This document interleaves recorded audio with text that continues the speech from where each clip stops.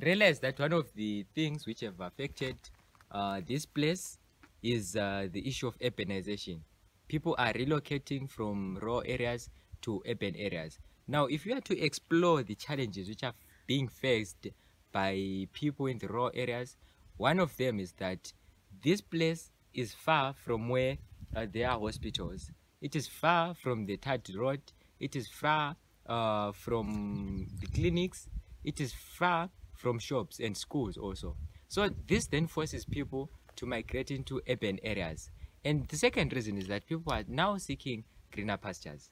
Therefore, this place now you see here, five, ten years ago, this was a raw area, this was a homestead for a particular family. But now people have, the owners of this place have decided to, re, to relocate.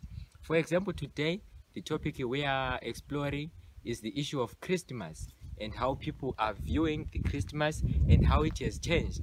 So you realize that, for example, people were talking about the prices of bread.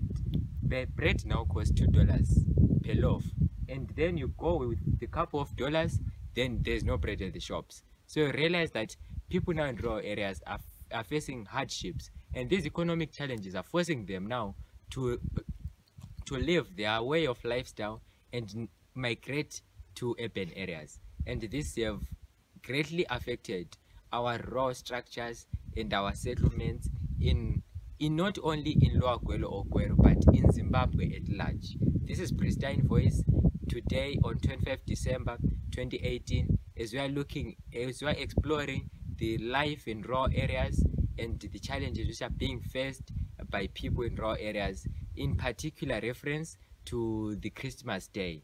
Thank you so much. Please log on to our website. Follow us on Twitter at Pristine Voice ZW. Like us on Facebook, Pristine Voice, and also uh, subscribe to our YouTube channel, which is Pristine Voice.